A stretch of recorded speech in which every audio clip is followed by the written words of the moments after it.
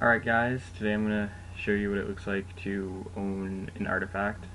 Um, last night, well, it's going to be a lot different from when I posted the video, but last night from when I made the video, I captured the Trainer's Talent Large Artifact, uh, which allows uh, the troop building times to be three-fourths as long, so you can make your army 25% faster, which is really helpful.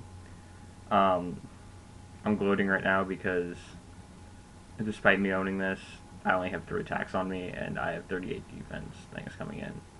Um, by the way, I'm posting this a month or so after I captured it, so don't get any ideas about, like, this is my defense, this is what my village still looks like.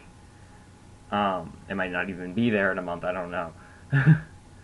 so, uh, this is me gloating because our enemies only captured one small artifact, and we captured just about every other one that we could get. That wasn't crappy, like freaking. What is it? I forget what it's called. It's the one that makes your cranny bigger. It's retarded. Stupid. Whatever. Um. So this is a picture, or not a picture, a piece of footage of the one of the attacks. You need to have a lot of clears to get to that point. Like I was expecting to splat, but it, apparently the people who cleared for me were a lot better. And then, of course, this is me capturing the artifact, which was a very happy moment in my life. Alright guys, bye.